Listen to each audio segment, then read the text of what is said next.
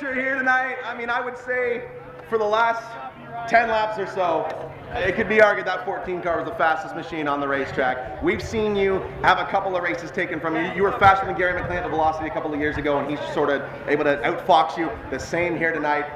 Baker admitted in victory lane that he, he, sort of had his tail between his legs. He was running from this 14 car. This machine came alive two thirds of the way through this race. This car was unreal. I was just kind of biding my time at the beginning, and uh, I was a little worried when I got caught in the bottom and a couple cars went by. I didn't know if I'd get that back, but uh, that one restart, the car just took off like a jackrabbit, and I picked up some spots. And uh, no, we made a we made a change in the car just before the feature, and it turned out to work real good. Pretty happy. Walk me through the last five laps or so, it looked like he really wanted to throw this thing in on the bottom. And every time he got a little bit of daylight, Baker would see you coming, would sort of cut you off at the pass. There was nothing doing on the outside, it seemed, for this 14 car. Well, his eyeballs were about the size of Toonies. I could see it in the mirror. He was blocking me.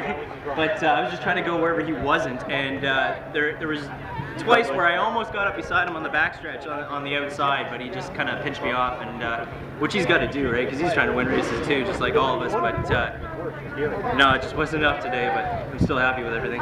This has got to be just what the doctor ordered for you. I mean, you had a top three finish ripped from you at Kawartha. You had a, a, really unfortunate outing at and not the night that you were looking for there. I'm sure you were frustrated on the ride home, and, and to come out of Sunset, that's arguably been your best track in the past. You've torn up some stuff here too, but it's been your best. When, when things are good, they're really good here. To come home with a second place finish, this much just absolutely generate a lot of momentum heading into tomorrow night. Yeah. Oh, we can tear stuff up anywhere. Don't worry about that. but, um, no, but when the car's on, the car's on, and uh, happy car makes a happy driver, and those two combined, they're pretty dangerous. I know it's not possible. A lot of support. Thank the folks that, uh, that got the Erin Express the victory lane here tonight. Uh, I got to thank uh, Wasteco first and foremost, uh, Dominion Mini Solids, W. Brennan Haulage, Stewart's Farm Equipment, Man Hydraulics, uh, Associated by Numbers, Castrol.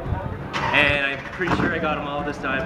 Follow him on Twitter at Davey Terry. Check him out on Facebook, Davey Terry Racing fan page. Getting ready for night number two of the Don Memorial Sunset Speedway.